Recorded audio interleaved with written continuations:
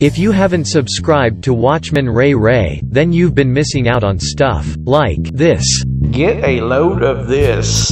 Um, so maybe there does need to be a rematch. I mean, obviously, I can beat him again. Wow, I can beat him again. Did you hear that? This woman's lost her mind. I think she's certifiable. I can beat him again. You didn't beat him. You never beat him. I mean, this is fact. Fact, fact, fact. This is fact. Where do you get this from?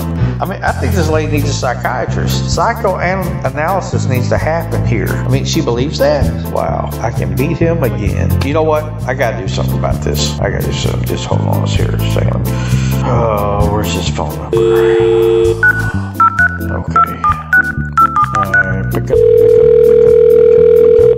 Hello? Bill! Yeah. Hey, Talk to me. something's gotta be done, man. Right. I mean, all politics aside, something's gotta be done. What's the problem? Your wife, dude. I know. Did you did you happen to see the PBS NewsHour interview? No.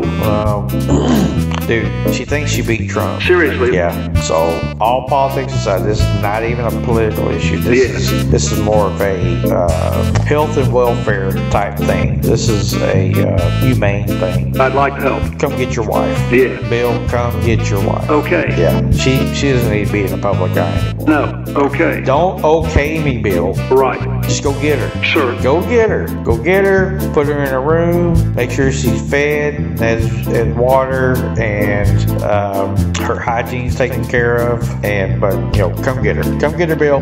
Let's do it. Do it. It's time. Okay. Thanks. All right. All right. Bye. So okay. So maybe that'll happen. I don't know. I don't think that he could get her because uh, I don't think he's in charge in that relationship. Check out more of Watchman Ray Ray on Spotify, Google Podcasts, Anchor, Breaker, Overcast, Pocket Casts, and Radio Public.